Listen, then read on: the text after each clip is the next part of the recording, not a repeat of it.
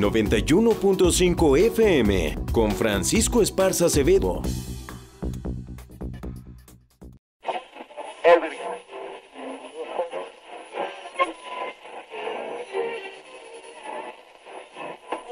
Autor, sin embargo, de lindas canciones que hoy va a estrenar una de nuestro programa. Aquí está Ernesto Juárez. Maestro Ernesto Juárez, ¿dónde nació y en qué municipio nació? Yo tuve el orgullo y el honor de haber nacido en Nochistlán, Zacatecas, que es un pueblecito lleno de historia y de tradición, muy poco conocido en aquella época, porque estábamos, según eso, muy, muy retirados. Ernesto Juárez, nuestro compositor invitado, nos ofrece el estreno de su canción a Nochistlán, su tierra natal. Canta el autor y acompaña el Mariachi México.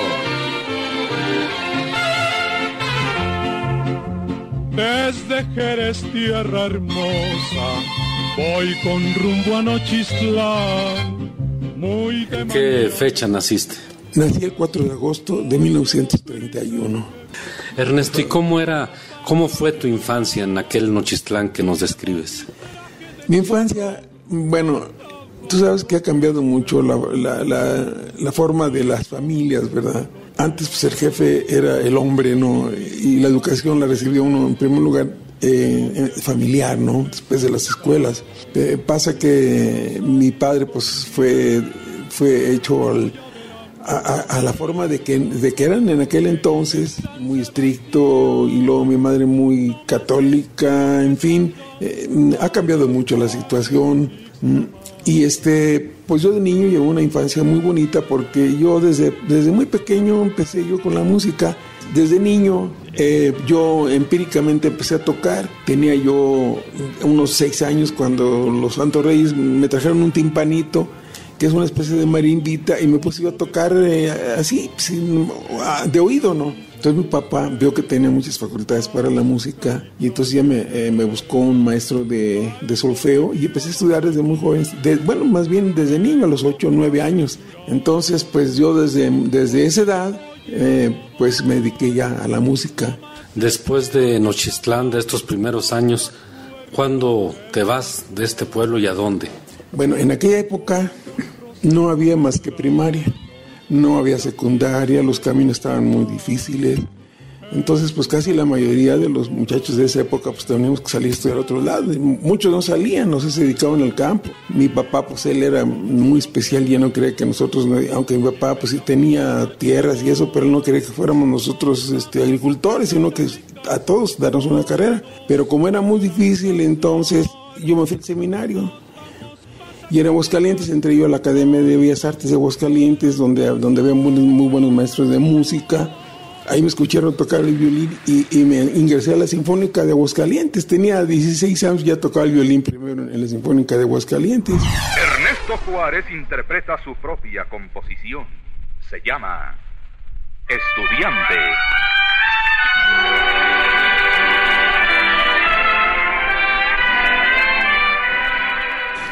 Entonces, eh, ya este, a mi papá lo cambiaron aquí a Zacatecas y nos venimos para Zacatecas. Pero cuando ya terminé yo la secundaria, le digo a mi papá, pues ya me quiero ir a México al conservatorio. Dice, no, ¿qué vas a hacer allá? Estás muy joven, te vas a echar a perder. Y tú sigues con que quieres ser músico, pero los músicos se mueren de hambre. Él me aconsejaba que no. Dice, mira, termina tu prepa y luego te mando. Bueno, pues terminé mi prepa y tampoco me mandó. O sea que hasta que yo me, hasta que yo me decidí, pues ya estaba grande, tenía unos veintitantos años. Y tú sabes que pedía conservatorio necesitas a los ocho, nueve, diez años. Te comentaba que yo me decidí y, cuando me fui de vacaciones, le dijo mi papá, ya voy de vacaciones, entonces agarré toda mi, ropa en el Belice y todo y, me fui a México. Ya estando allá, le hablé, le puse una carta, le dije, papá, pues mire, perdóneme, ya pasó mucho tiempo y yo me quiero quedar aquí en México. Le digo, mire, no me mande dinero, le pido permiso, por favor, que me deje un año. No me mande recursos ni nada. Si en un año yo, este, yo no logro hacer algo, me regreso, porque él quería que yo estuviera, la, que siguiera yo como abogado. Pero para mí no había nada comparado como con la música. Y lo mismo también desde niño empecé a dibujar. En una ocasión fue Leobardo Reynoso, que fue gobernador de Zacatecas, fue a Nochistlán a, a, a, este, a promover su candidatura. Y estaba en la escuela, era un niño. Entonces me ocurrió hacer un dibujo de, de don Leobardo Reynoso. Hice un dibujo Y lo vio la maestra. ¿Quién, quién lo hizo? Pues yo lo hice, a ver, lo vio. Y, y fue con mi papá. Y le dice, mire lo que hizo su hijo. A mí me gustaría que este se lo regalaran al señor, al señor Leobardo Reynoso. Y mi papá estuvo de acuerdo con don Leobardo Reynoso. Mire este muchacho hijo del, del señor Juárez, de aquí de Nochislán. Le trae esto. Lo ve, lo ve don Leobardo, me dijo que se quedó viéndolo.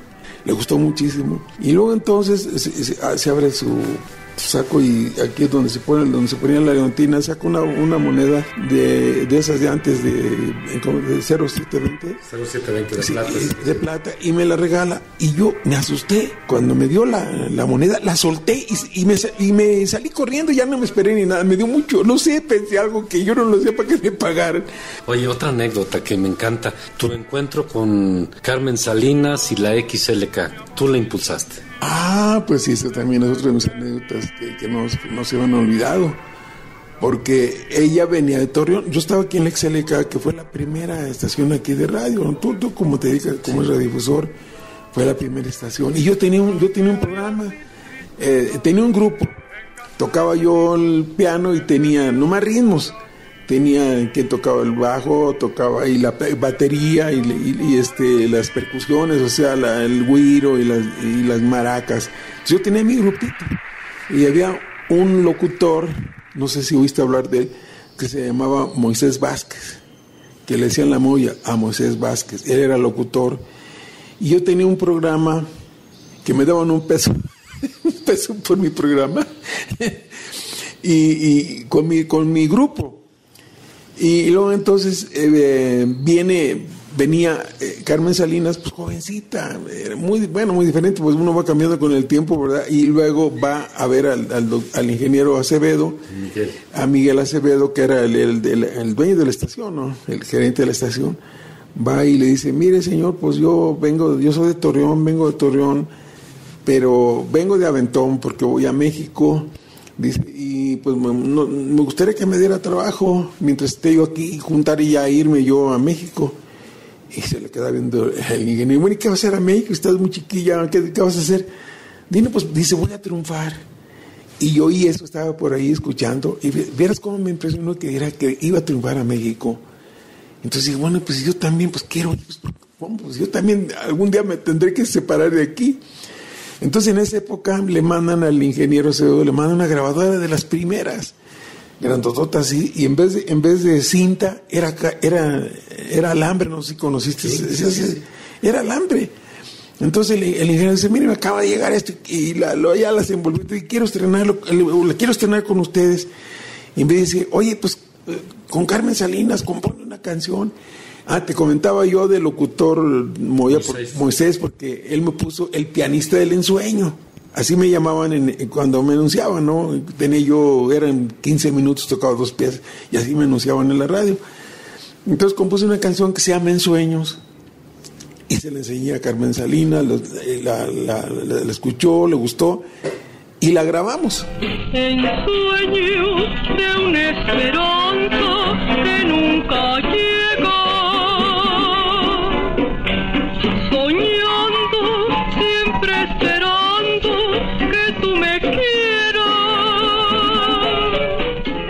Entonces ella estuvo un poco tiempo porque ya consiguió dinero y se fue. Pero, pero afortunadamente de ahí la pasaron a los, al- a los 78 y, me regalaron a mí ese disco de 78. Que yo lo estuve conservando muchísimo tiempo y lo saco aquí en, en- en los nuevos discos. Entonces, pues para mí es algo extraordinario. Además, eh, Carmen Salinas iba a México porque quería triunfar como cantante. Pero llega a México y había muchos problemas porque problemas para ella porque cantaba preciosa, tiene una voz lindísima, pero había mucha competencia. En esa época estaba Toña la Negra, estaba María Luisa Carvajal, estaba bueno, Ana Luisa. Ana Luisa, las hermanas Landín, entonces pues ella de plano no pudo como cantante. Y entonces les dio por, por imitar y se puso a imitar. No, ahí sí le fue re bien porque lo hacía magníficamente bien. Y empezó a trabajar en los teatros, en Teatro Blanquita, entonces era, era, era lírico, empezó a de los teatros y pues así muy bien y tuvo mucho éxito. Así fue como ella empezó en México. Oye, ¿y alguna vez le regalaste el disco? ¿Platicaron de esta anécdota? Nunca. Hasta hace poquito, el año pasado que vino ella, no sé si el año pasado o el antepasado. Yo, bueno, bueno, me fui a México y me tocó trabajar con ella en una película, porque no sé si sepas que yo trabajé en el cine, hice, mucho, hice, hice 80 películas. Y eso tampoco nadie lo sabe. Y tengo los nombres de cada una de las películas y las fechas. Entonces me tocó hacer con ella una que se llama El Caifán del Barrio, con Resortes, que fue una de las últimas películas de, Resortes. Y ahí la veía y a mí como que decía, bueno, pues yo ya estoy en un, en un plan que también ya no estoy bien y ya está muy bien. Y como que me da pena decirle, "Ayu- ayúdame, porque está, eh, hasta la fecha ya nunca le pedí nada. No sé si es una falsa dignidad. No, bueno, ¿qué te diré? Por mi forma de ser, ¿no?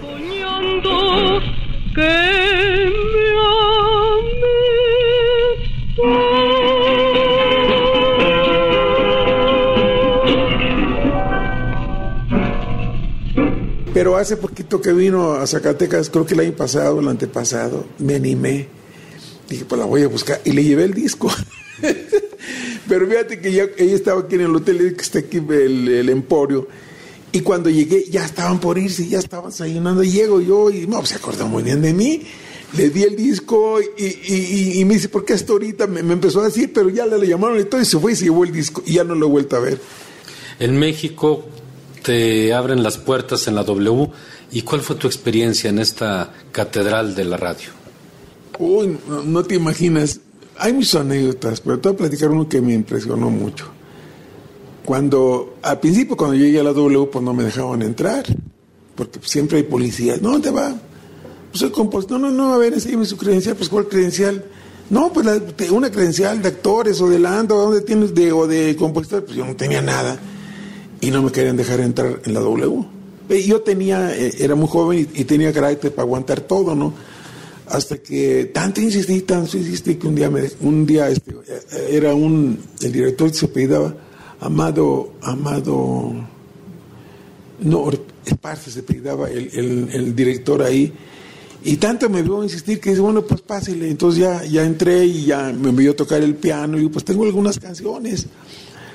Entonces, eh, ahí conocí a Rita Mondragón, conocí a Amparo Montes, y ya llegaba yo y pues mire, soy, soy a ver, pues tócala, y tú ya, ya les tocaba yo, afortunadamente, como se tocaba el piano, pues les tocaba mi canción, y, y algunos me decían, pues sí, está muy bonita canción, se la vamos a, se la vamos a, a poner en los programas, y así fue como empecé en la W. Pero uh, hay una canción que, ah, porque cuando yo en esa época componía puras canciones románticas, yo no escribía canciones rancheras en esa época.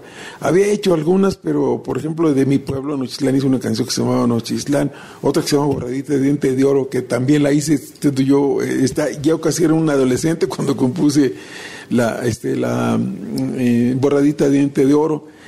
Entonces, me, eh, como tenía puras canciones así, de, de, ese- de tipo de corte fino y todo, y luego me decía, pues necesitamos eh, instrumentaciones, entonces pues yo como se vea música, pues yo hacía las instrumentaciones y algunos otros me las hacían, y así fue como empecé yo en, en la W. Pero te quería comentar esto, que eh, ya en una ocasión, sí iba a estrenar una canción mía que se llama Mala Suerte.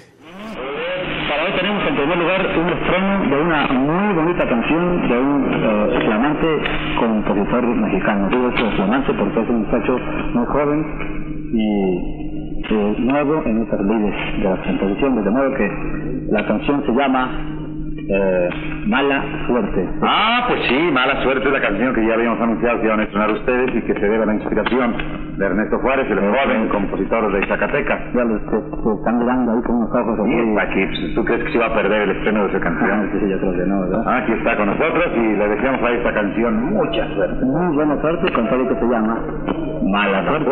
Bueno, pues este es el programa Gruen de esta mañana.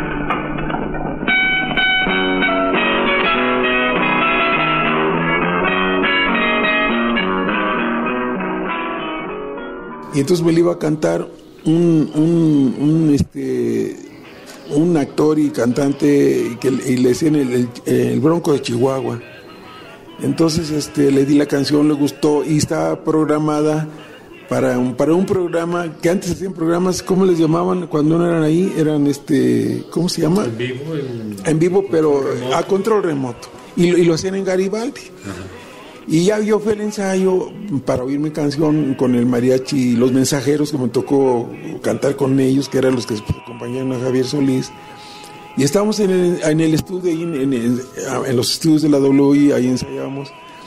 cuando este pues no llegaba el, el, el, el este, el, bronco, el bronco Chihuahua no llegaba y no llegaba, y oye, pues que, que ya está, ya está anunciado. Y luego el, este, el productor, a ver, tú eres el compositor, dice, a ver, a ver, a ver, canta. Le digo, señor, yo no sé, no, no, tú ca- canta. Y ya, canté con él y dice, no, tú, tú vas, a, vas a estar en la noche en el programa. Pues yo me, me, me descontrolé todito, bueno, de gusto y, y además de, pues sí, porque pues era la primera vez que iba a presentar yo cantando y le dice, ¿tienes traje de charro? No, no tengo. Dice, mira, vete, vete aquí a las calles de Uruguay, a- había un donde, donde había un donde rentaban trajes mm, para la- las películas y para, para todo lo que fuera necesario, ¿no? Dice, ve a fulano de tal y, y dile que, que, que te, que- que te dé un traje de charro. Ahí voy yo, pero, pero eso, bueno, fue para mí algo extraordinario. Era, era un solo día, eso era mediodía. Yo andaba tan nervioso que dije, ¿ahora qué hago? Entonces ahí por W hubo varios maestros de canto. Fui a ver a un maestro para que me, para que me escuchara. A ver, a ver, pues eh, hice cola ahí para que me escuchara. Ya cuando me tocó mi turno, a ver, cante. Dice, no, pues, está, está bien, dice usted, con estudio puede llegar. Le digo, señor, pero es que voy a cantar hoy, hoy en la noche. Dice, pero ¿cómo? ¿Usted cree que con una clase va usted a cantar en la noche? Es que voy- va a estar Lola Beltrán y voy yo también.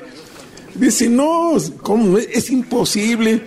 Bueno, yo andaba tan nervioso que este, ah, aquí está precisamente en el disco, porque me hace, me hace la entrevista este, el bachiller Álvaro Gales y Fuentes.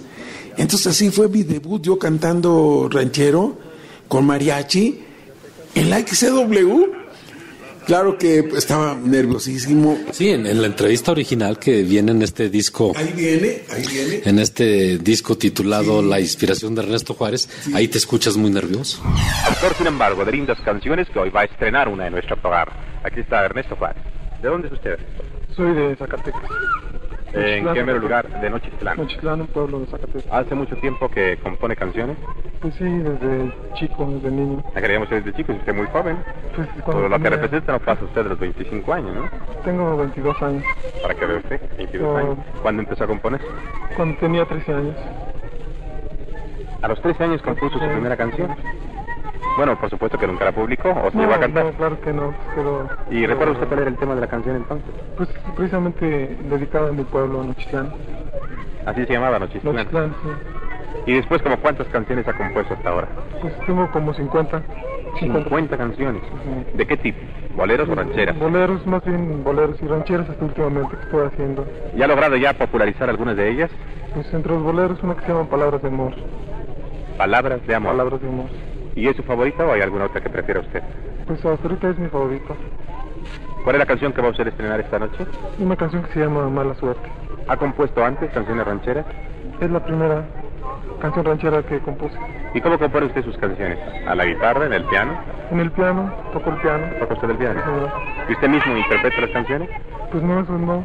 ¿Quién va a cantar esta mala suerte? Para hoy, hoy sí la voy a cantar yo, pero, pero nunca había cantado antes. Ah, nunca había cantado antes, seguramente la vamos a hacer muy mal, pero de todas maneras la vamos a escuchar con mucho interés. He aquí la nueva canción del compositor Ernesto Juárez titulada Mala Suerte. Él mismo la interpreta por el mariachi de los mensajeros.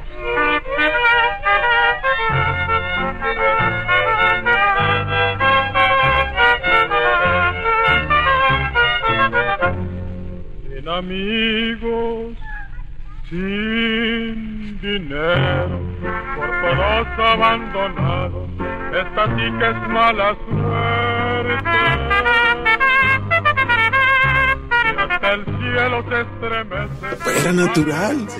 Era la primera vez que cantaba yo en, en un programa estelar con Lola Beltrán a un lado y con el Marechi, y los mensajeros.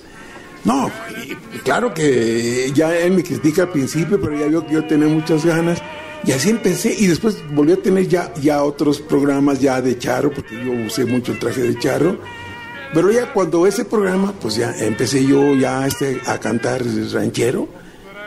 Y no sé si sepas, pero me fui, a, y pasando el tiempo me fui a Alemania, estuve nueve meses cantando en Alemania, en Frankfurt, y fui de charro, y, con, y yo solo con mi guitarra me acompañaba y tuve un gran éxito, iba, iba por un mes, estuve nueve meses. ¿Quién, bueno, tu primera grabación fue con Antonio Aguilar, Pero ¿quién más te grabó? No, bueno, no fue, no, no fue mi primera grabación. Él fue en la W, o sea, en, en un programa. Recordando las horas felices que diste a mi vida. No, mi, mi primera grabación precisamente fue Mala Suerte. Pero esta canción estaba escogida para Pedro Infante. Ya había ido yo a, la Pirles donde él grababa y le escogieron y estaba feliz que iba a grabar Pedro Infante. Pero resulta que se cae en el avión y se muere Pedro Infante, entonces po- ponen a, Carlos Madrigal en lugar de Pedro Infante, que cantaba precioso, pero era muy bohemio, y él, él me iba a grabar la canción Mala Suerte pero resulta que le hicieron mucha promoción, pero él, él era muy desordenado y borracho, perdón, es la verdad, y él murió ahí en, en- en las, en, los, ahí en las calles del ayuntamiento, murió, y, y ya, no me, ya no me la grabó tampoco. Este. Ah, sí, me la, él sí me la grabó, la canción este, Carlos Madrigal, alcancé a que me la grabara él. Fue mi primer disco. Y, y hay un, una anécdota precioso que cuando yo fui a la, a la Pirles, para ver la, mi grabación, estaba conmigo, estaba otro, un señor ahí. Yo lo veía así, pues, eh, perdona, pero es la verdad, yo lo vi en esa época, lo veía medio, eh, pues, muy gordo, este, moreno, este, le sudaba la frente y, eh, claro que, bueno, el, el aspecto nada más, ¿verdad? Y me dice, no, fíjate que yo también soy compositor. Ah, también es compositor, sí. ¿Y quién le grabó? Pues Carlos Marigal. Pues, ah, pues a mí también. y nos esperamos, pues. Y pues yo no lo conocía, ni él me conocía a mí. Y también eran las primeras, eh, las primeras grabaciones de él. Bueno, pues ya este, que, que nos dieron el disco. ¿Sabes quién era ese señor? Álvaro Carrillo. De ahí yo aprendí muchas cosas que nunca puede, nunca debes de basarte en la, en, en- en la- apariencia. en la apariencia. Para mí ha sido uno de los compositores extraordinarios. No, a mí me dejó muy abajo. Después me hice muy amigo de él. Pero fíjate, la primera grabación de él fue con una mía. Yo no tuve la suerte de él porque pues, era con Carlos Madrigal y él, pues, como tenía canciones hermosísimas, pues eh, Álvaro Carrillo. Entonces yo aprendí una lección, dije ya, aunque me digan que, que cantan muy bien y todo, yo se los voy a creer. Yo, yo no, no, no puedo juzgar a nadie porque en este ambiente te encuentras ese tipo de, de- de gente, ¿verdad? ¿Y quién más te grabó?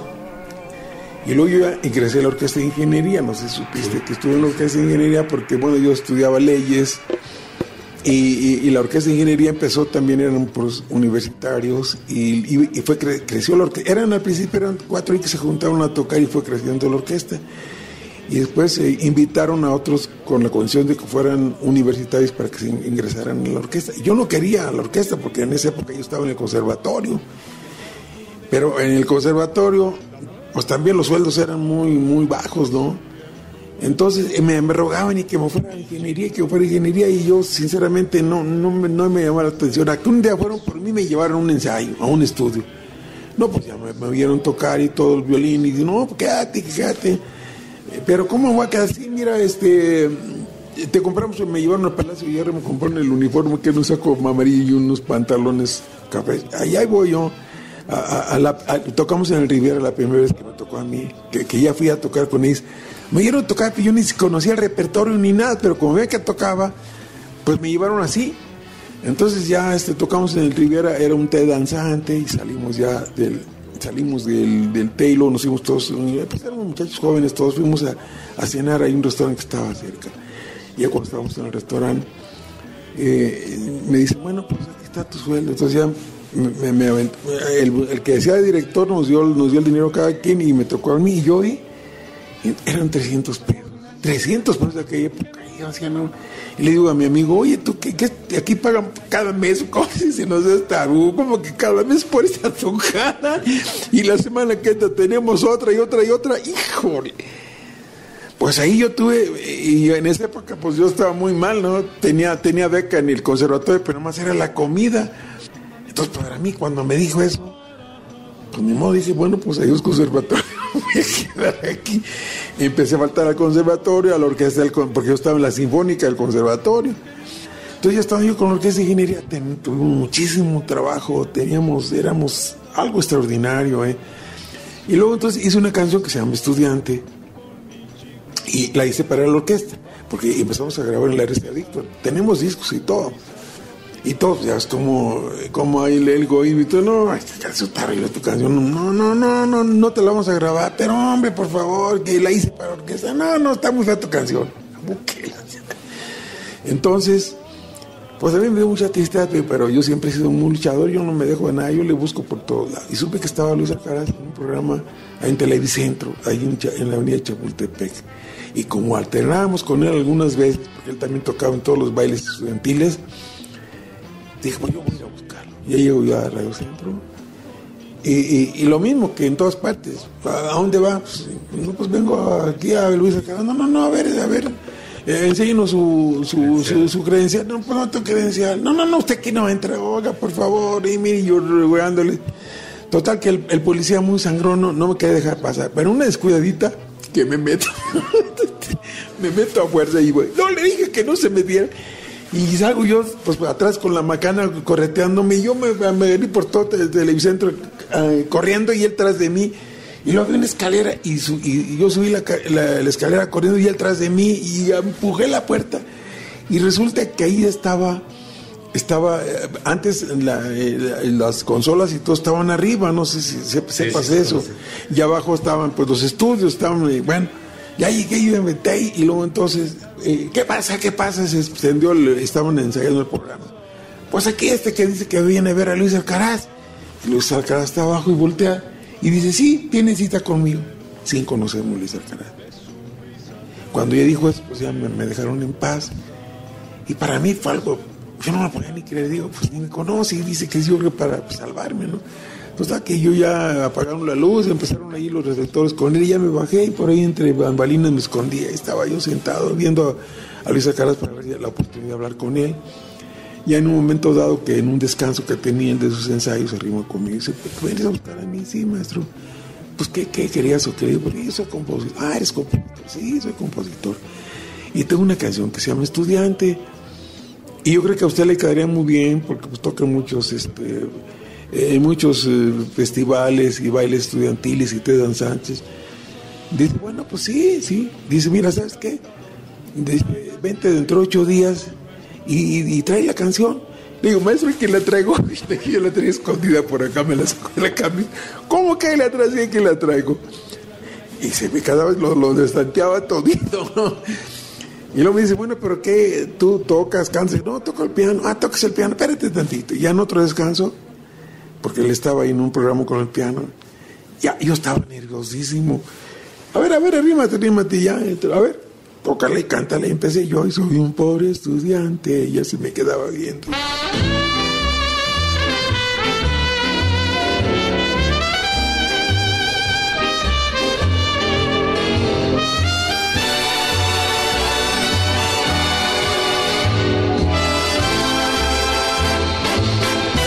Soy un pobre estudiante.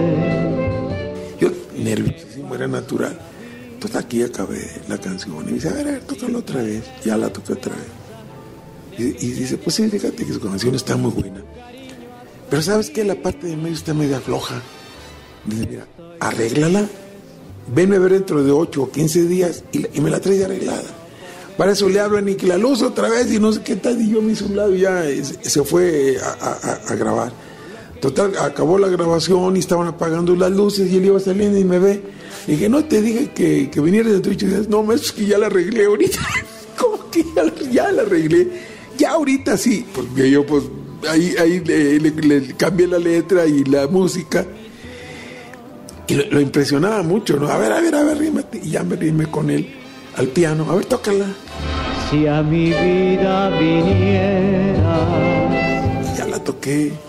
Dice, pues sí, fíjate que sí me gusta mucho tu canción. ¿Sabes qué? Te la voy a grabar. Y saca un, un, una tarjeta y dice, mira, vete a ver aquí frente a W. Ahí está un señor que se pide Garrido, que es mi empresario y es el que hace mis contratos. Ve con él y llévale esta tarjeta y dile que te voy a grabar esta canción. Hijo, y mira, yo me estaba tan emocionado, no lo podía ni creer, es que es, era imposible, ¿no? Y ahí voy, me voy caminando, uno estaba muy lejos ahí que llega la W y, él no dice que había unas escaleras, que no había, no había ni pierde, que porque frente estaba la puerta de W. Y ahí llegué yo y buscaba y caminaba toda la cuadra, yo no había ninguna escaleras y ya estaba yo desesperado. Dije, no, a lo mejor también él me dijo nomás por hacer un lado. Donde pues ya estaba yo cansado tanto que a mí me siento, estaba yo en eso y volví, volteé para atrás y ahí estaban las escaleras tras de mí. Todo lo que hace uno estando nervioso, ¿verdad? Pues trata que sube las escaleras. Y este.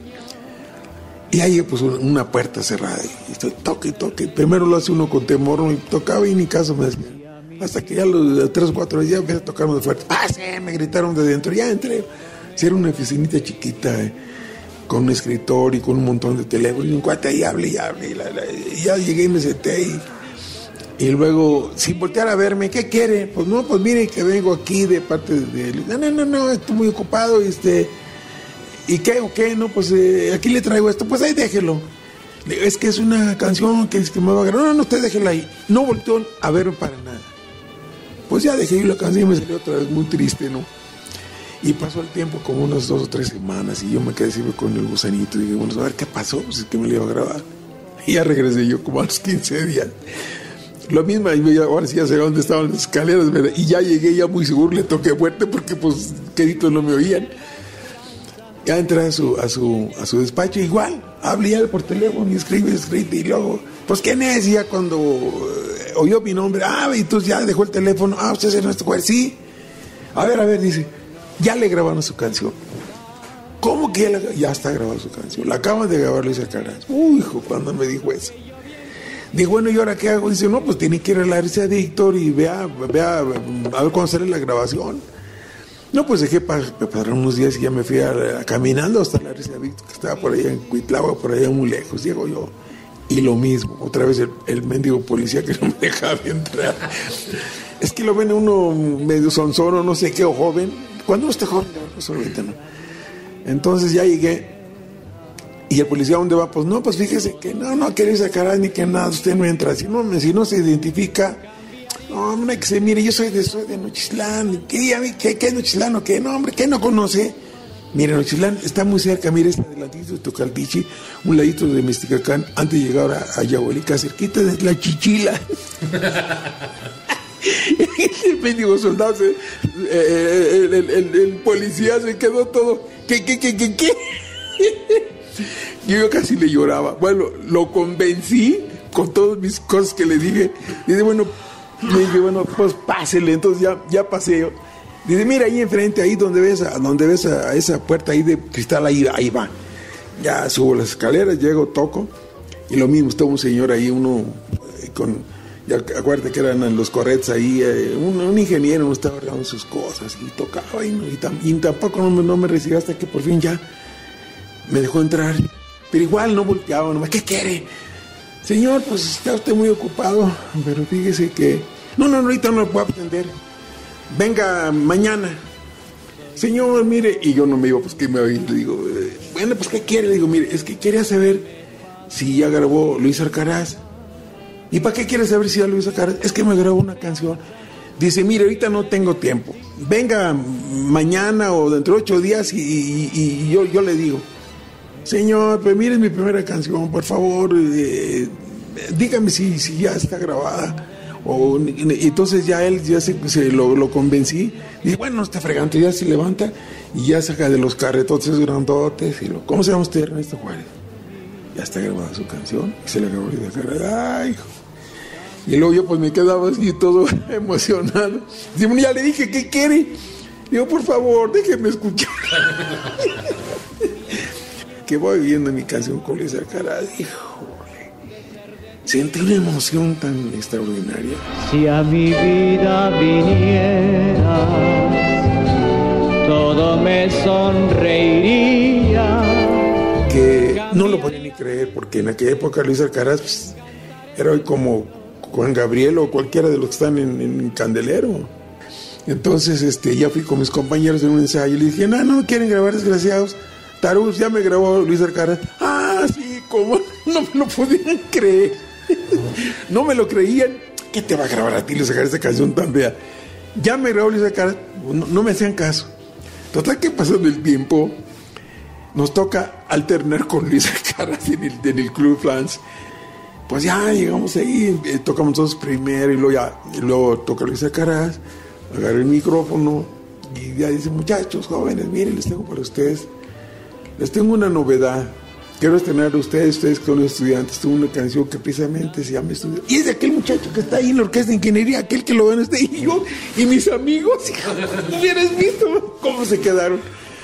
Dice, y se las brindo, lo va a cantar. La canta con su orquesta ese día. No, yo estaba increíblemente impresionado. Y mis amigos todos, ¿cómo se quedaron? Se quedaron tarugos porque no me lo podían creer.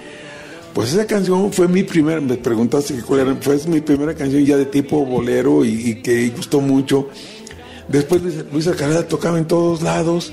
Para ti.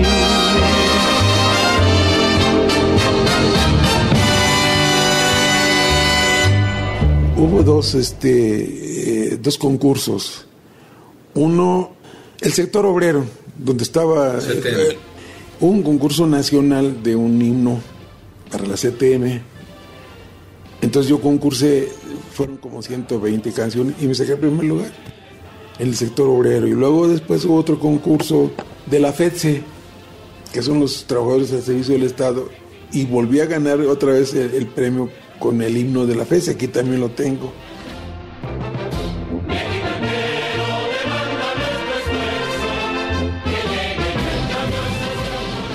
Ernesto, platícame la historia de Juana Gallo.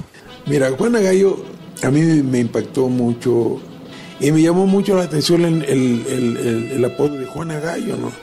Porque la, la vi como se paraba frente a, a Palacio de Gobierno y les gritaba, bola de políticos, hijos de su madre, para, para hombres, mi general Natera, Pancho, bien ustedes, tienen, se les. Entre ruidos de cañones y metralla surge una historia de una joven que apodaban Juana Gallo por ser valiente a no dudar. Y luego se levantaba las enaguas. Bueno, era, no eran las enaguas, era un, un mandil que traía.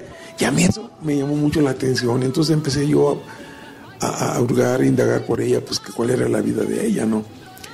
Y luego, pues eh, me di cuenta que, que este, la gente la conocía muy bien. Y llamaba la atención porque ella, sin, sin, sin proponérselo, pues fue la precursora de, de los derechos de la mujer en este aspecto. En aquella época, pues era la única que entraba a las cantinas. En esa época ninguna mujer entraba a las cantinas. Ella, pues, e- ella no salía, todos los días iba a las cantinas, ¿no? Aquí en la esquina, en el paraíso. Es- exacto. Y luego, pues, este, ya, todos los días era lo mismo. Y entonces ahí de la presidencia mandaban a, los cuicos que les dieron aquel entonces para que se y, y la, metían a la Bartolina, a la Julia, se le llevaban, el- no, que a la Julia, se le llevaban, y la metían ahí, y tenían mucho problema porque no se dejaba. Y ya ahí todos los agarraba bastonazos y total, que pues sí la doblegaban porque eran dos y se la llevaban. Hasta que hubo un secretario de la presidencia, que era el güero Lorca, que dice, bueno, ¿para qué están batallando? Pues no la traigan aquí, no se va, ella, mejor llévela donde vive, a su casa. Entonces en una carrucha, o sea, como en un diablito, iban a la cantina y cuando ya la pobre ya se caía, la agarraban, la subían y ya la llevaban, la llevaban a, la vecindad donde ella vivía. O sea que tenía rasgos mu- mucho, muy impresionantes, ¿no? Que a mí me, me impactaron muchísimo. Y entonces, sobre todo, el, el apodo de Juana Gallo. Y como a mí ya en esa época, pues me gustaba ya mucho lo del cine. Y entonces, pues este es, este es un, un tema muy especial para, para componer el corrido de Juana Gallo. Hablé con ella. ¿eh? Te- Tengo un reportaje. Porque estando yo en México, yo ya en México tenía cierto prestigio platiqué al periódico Excelsior eh, que era Agustín Salmón, era uno de los reporteros, y le pidió, habló, le dije yo que si querían hacer un reportaje de Juan Aguirre que, que venir a Zacatecas. Y sí lo aprobó el, el director que ahora eh, fue el dueño de la revista eh, Siempre. No Impacto. Impacto, sí. Y aprobó que viniera, dice, que llévate un fotógrafo. Y, y venimos a Zacatecas. Venimos con un, me, vino como un fotógrafo que a la vez era hacía el reportaje. Y llegamos a Zacatecas y anduvimos buscando a Juana Gay por todos lados y no, pues no la encontrábamos. En las cantinas y en la iglesia, porque también iba a la iglesia. Y en esa época mi papá, vivía mi familia, vivíamos en la calle, en la calle que se llama Hoy Allende, que antes era un callejón. Eh, ¿Cómo se llama este callejón? Había un callejón ahí. Y cuando el Lobardo Reynoso ampliaron el callejón y este y, y ancharon la calle, ahí, ahí vivían mis padres, ahí vivía yo. Zapateros. Exacto, zapateros. Y más, a- más a- por ahí también vivía el papá de, de los coroneles. Sí, ahí, al otro lado de, tele, de correos. Exacto. Bueno, pues ahí era la oficina, de ahí fue la oficina de teleros toda esa esquina. Y ahí vivíamos nosotros. Total que, pues la anduvimos buscando y ahí el, el, el, el fotógrafo, pues yo me tengo que ir, man. Yo me tengo que ir. Le digo, no, espérate tantito. Ya subimos a la casa y ya cuando íbamos bajando, tanto buscarle, estaba ahí, allá afuera de, la casa, ahí de mi casa, de ahí en Allende, ahí estaba sentada. Uy, ya que. Y ya me acerqué con ella. Tengo, tengo fotos y tengo todo, ¿eh? Y tengo la entrevista. Hablé con ella, le dije, pues fíjese que ustedes, ustedes, ustedes Ángela Ramos, sí, a ver, siéntate, senté con ella ahí en, en el quicio, de la- eh, ahí la banqueta. Pues, ¿qué te ofrece? ¿Qué quieres? Mire, pues sabe que venimos a hacer un reportaje. El señor que ve aquí es fotógrafo y le va a tomar unas fotografías porque lo vamos a publicar. Y me dice, no, no, no, no, le dice al fotógrafo, no, no, no, no, no tome nada. Le dije, ¿por qué? Dice, no, pues si dice que me va, me va a salir el periódico, va a ver toda la gente, pues deje, mira, dar un baño para estar le digo, "Pa- tenía cada detalle fabuloso, ¿no? Y empecé a platicar yo con ella, para platicarle, pues, que si era cierto que habían dado la revolución. Y me dice, tú no estás ni para, ni para oírlo, ni yo para contártelo, pero mira, en esa época de la revolución, este, cuando entró el general Villa por, por, eh, por este, ¿cómo se llama? El pueblito ese que se llama por Beta Grande. Grande.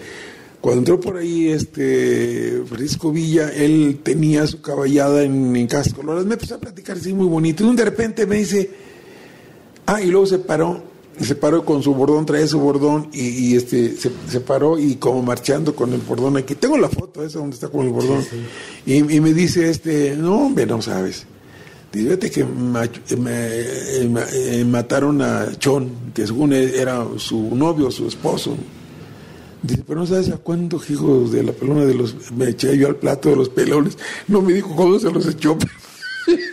o sea que los mató. Simpatiquísima.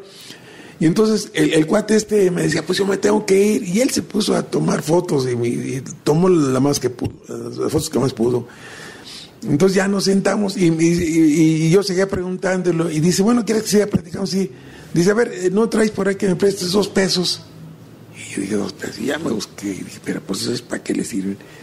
Y saco diez pesos y los doy. Y lo vi y dice, oye, hijo de tu tiznada madre. Me, insultó, güero desgraciado. Pues si te estoy pidiendo dos pesos, ¿por qué me das diez? Pues ¿qué me ves cara de inmunera? Tinda, madre, ya no te vuelvo a platicar nada. Oiga, Juanita, pues mira, es que discúlpame, no, no, no, ya no quiero saber nada de ti. Total, estuve regando. Dice, bueno, acompáñame. Digo, bueno, ¿a dónde? Pues, ¿qué te importa? Tú acompáñame. Total, que ya nos levantamos de ahí, se apoyó, se apoyó en, mi, en mi brazo y luego llegó un, señor viejito también como ella que la estaban esperando en la cantina ahí en la Casa Verde, ahí estaba. Ahí, ahí llegó ella y yo entré con ella. Entonces puso, puso la canasta encima del- mostrador ahí de, de la cantina. Y entonces yo veía que iban y, y sacaban, sacaban taquitos y, le ponían un, le, ponían un- una, copa de tequila. O sea que le pagaban con tequila. Yo nunca vi que le dieran dinero ni ella pidió dinero. Cada rato iban y una y otra y otra y otra y ella va para adentro, para adentro y ahí platicando con ella. Total que pues todo el mundo le hablaba porque era, era famosísima. ¿Y cómo se va al cine la el tema de Juana Gallo? Bueno, entonces primero hice el corrido yo. Hice el corrido que, que pues este que impactó mucho. Ahora, yo lo he repetido muchas veces que no es historia, no es la historia de ella, es, es una fantasía, como son todos los corridos. Ni existió la Delita ni la Valentina, eh, son, son, existieron pero en la, en, la, en la mente de un trovero, pero no existieron ni Juan Charrasqueado, como ahora ni el hombre araña, y sin embargo viven, o sea, eh, viven, son personajes ficticios, pero que tienen vida, ¿no? No sé si, si, si- si explique, ¿verdad? Por lo de Juana Gallo igual, yo, yo aproveché el, el, el, el- apodo que, que era muy fuerte. Y entonces anduve indagando con mis maestros del instituto preguntando de ella que si era cierto que no era cierto porque unos decían que sí que se anduvo la revolución al principio cuando era muy joven y otros me enteré de todo de lo de, la, de las de lo que era muy católica y, y de los cristeros y supe anécdotas muy muy sensacionales. Por ejemplo yo fui muy amigo de don Roberto don Roberto Cabral del Hoyo y yo le pregunté a él que qué opinaba de Juana Gallo. Y dice, mira Ernesto, ¿qué quieres que opine yo de Juana Gallo? Cuando después de la revolución a mi padre lo nombró presidente, presidente constitucional, presidente pues de aquella época no. Y lo iban a fusilar. Juana Gallo reúne un, un montón de mujeres va y le salva la vida a mi papá. Dice, pues don Fer- Fernando Cabral se peleaba el papá del poeta. Dice Ernesto, ¿qué te puedo yo decir de Juana Gallo? Si le salvó la vida a mi padre, dicho por él, por don Roberto. O sea que tienen anécdotas fabulosos, ¿no? Que no son precisamente la revolución, que anduvo en la revolución, pero son cosas extraordinarias. Lo mismo lo del apodo, uno dice que se lo puso el padre ahí donde ella vivía, pero pues eh, si le salvó la vida también a Miguel de la Mora. Miguel de la Mora cuando andaba escondido por la época de los cristeros, él venía disfrazado y andaba por ahí. Y un día también ya lo iban a, a fusilar y él con su un- un gru- grupo de mujeres fue y lo salvó. Y luego cuando hizo el Tancredo, sí te he platicado de, la, de lo del Tancredo, ¿verdad? Total que todo eso a mí me, me apasionó mucho para escribir. Yo al principio hice un corrido, o sea, yo no pensaba en película ni nada, o sea, era un, era un canto al principio, era, era un- un- una música nomás, ¿no? Y luego ya le puse letra, pero de ahí pues empecé yo en México a enseñarle, pues les gustaba muchísimo. La primera grabación me la hizo Lucha Moreno, que Lucha Moreno en esa época no había otra, era la número uno, entonces pues ya con ella este, se, hizo, se hizo famosa la canción y entonces yo escribí una sinopsis, hice un argumento, ¿no? Era Agustín P. Delgado, que era hermano de Miguel Delgado, el que le hacía las películas a, a, a Cantinflas, y le interesó mucho. Y dice, mira, esto vamos a hacer la película, y dile a Lucha Moreno, quería que fuera Lucha Moreno, la, iba a ser la protagonista. Pero después se enteran los Zacarías, que fueron los que hicieron la película, les gustó mucho todo, y entonces pues se cambió. Y luego con María Félix. Cuando ya oyeron el corrido y todo, me dicen, bueno, el corrido está muy bien, pero necesitamos ir a casa de María Félix para que ella lo escuche. Pues ya, nos sentamos ahí a esperar que bajara María Félix, que la voy viendo que viene bajando las escaleras, ¿no? Una mujer bellísima, preciosa, me- te imaginas cómo me quedé yo, ni uno más yo, todos. Va bajando así con, con mucho tiento, ¿no? Ya digo, bajo, a ver, a ver, a ver. Pues sí, pues que me van a enseñar el corrido. A ver, ¿y dónde está el compositor? Y me y dice, este, este. Cuando me dijo eso me sentí dado la fregada. ¿Este es el compositor? Sí, él es el compositor. Cuando me dijo eso me entraron unos nervios pues, tremendos, ¿no? Pues a ver, cántala. Pues no me salía la voz. Ni podía tocar ni me salía la voz. Y luego ella la media canijilla, ¿no? Dice, mira, cántala, no tengas miedo. Lo que dice que es devoradora de hombres, no creas, no es cierto. A ver, cántala. Y me decía eso y era peor para mí. Le habla a un mozo y a ver, a ver, traigan unos coñac. Ya llega el coñac, llega y me tomo, yo me, me lo tomo de un fregadazo de todos coñac. Y todavía no me salía la voz. Total que como al, eh, to- tomé, me tomé como tres coñac y ella le daba risa. Y luego me vacilaba porque se acercaba conmigo, luego me, acariciaba acá atrás y yo imagínate cómo me ponía más nervioso todavía. Pero ya con los, con, con los coñac y todo, pues ya me animé. Y entonces ya dije, bueno, pues, y empiezo a cantar la canción y escuchó ella, porque ella tenía que dar el visto bueno. Y luego ya la, la, la canté, a ver, cántala otra vez. Ya la segunda vez, pues, ya, ya me sentí más, no, que le echo todo, ya ábranla que viene Guanagaile. Y dice, sí, está bien, sí va la película. Uy, hijo. Para mí, pues fue día de fiesta, ¿no? Porque ¿En qué año estamos hablando? en el 1960, la película, antes, haber sido en el, como a principios del 60, fue, fue cuando se hizo la película aquí, fue antes, de haber sido una- más o menos, o 59 a fines o a principios del 60. Pues, Ya se, ella ya dio el sí que se iba a hacer la película, empezaron a hacer los preparativos, y luego había un problema, porque, ah, y luego Miguel Zacarías, que era el director, él vio mi, mi, mi, este, mi argumento y pues, sinceramente, él, yo pues era yo incipiente, ¿no? Él lo corrigió, lo, lo agregó y le hizo bastante bien. Y había un problema que vieron eh, el señor Llamas, que era el gerente de producción, y Anuar era otro, Anuar Badín, que era también trabajaba con los Zacarías. Y vieron este programa y dice, bueno, pues está muy bien esto, pero se necesita mucho ejército. Les digo, no, no se preocupen, les digo yo, ¿qué qué? No se preocupen, ¿por qué? Yo soy amigo del general Pámanes, él era el oficial mayor. ¿Tú eres amigo del general Pámanes? Sí. Si quieren, vamos a verlo. Y pues me la tomaban a chunga, ¿no? No me lo creía. Ah, sí, este amigo general Pámanes. Voy a hacer una cita. Hice la cita con el general Pámanes, que sí me conocía muy bien. Entonces ya, todos los, produ- don los Zacarías no fueron porque no me lo. Fue- Fueron ahí dos o tres, eh, Badín y, y este y el señor Llamas, llegamos con el general Pámanes, era el oficial mayor en esa época. Del ejército de la Del ejército, pues sí, del ejército.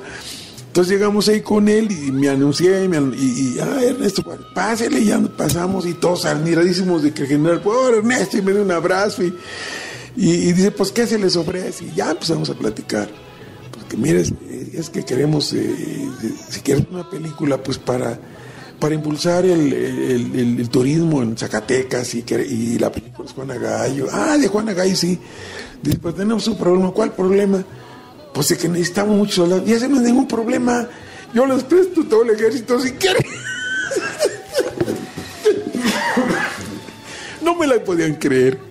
Y así, efectivamente, así fue. El general intervino mucho.